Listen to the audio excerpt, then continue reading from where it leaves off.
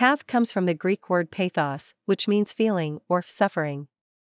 So a pathetic sight moves us to pity, and a sympathetic friend feels with you when you yourself are suffering. Pathos, 1. An element in life or drama that produces sympathetic pity. 2. An emotion of sympathetic pity. The pathos of the blind child beggars she had seen in India could still keep her awake at night. Pathos comes directly from Greek.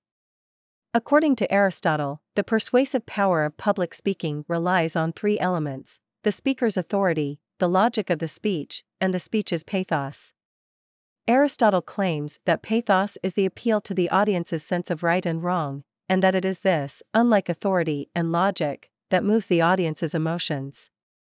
Today we usually speak of pathos as an element in fiction, film, drama, music, or even painting, or the real life pathos of a situation or personality.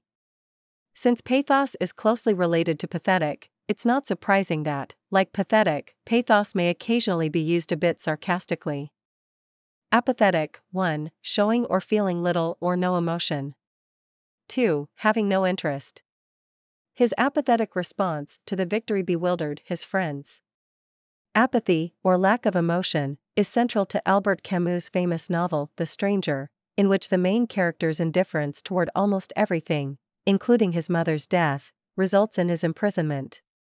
We feel little sympathy for him and may even feel antipathy or dislike. The American voter is often called apathetic. Of all the industrial democracies, only in America does half the adult population fail to vote in major elections. As you can see, apathetic isn't the opposite of pathetic, even though the A that it begins with means not or without. Empathy, the feeling of, or the ability to feel, the emotions and sensations of another. Her maternal empathy was so strong that she often seemed to be living her son's life emotionally. In the 19th century, Charles Dickens counted on producing an empathetic response in his readers strong enough to make them buy the next newspaper installment of each novel. Today, when reading a novel, such as A Tale of Two Cities, only the most hard hearted reader could fail to feel empathy for Sidney Carton as he approaches the guillotine. One who empathizes suffers along with the one who feels the sensations directly. Empathy is similar to sympathy, but empathy usually suggests stronger, more instinctive feeling. So, a person who feels sympathy, or pity, for victims of a war in Asia may feel empathy for a close friend going through the much smaller disaster of a divorce. Telepathic involving apparent communication from one mind to another without speech or signs. After 10 years of marriage, their communication is virtually telepathic, and each always seems to know what the other is thinking. Since tele means distant, see tele, you can see how telepathy means basically feeling communicated from a distance. The word was coined around 1880, when odd psychic phenomena were being widely discussed by people hoping that researchers might find a scientific basis for what they believed they themselves were experiencing.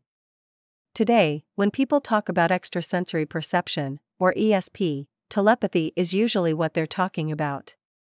In recent years, the notion of memes, ideas that might somehow physically fly from brain to brain so that people all over the world might have the same idea at about the same time without any obvious communication, has been widely discussed.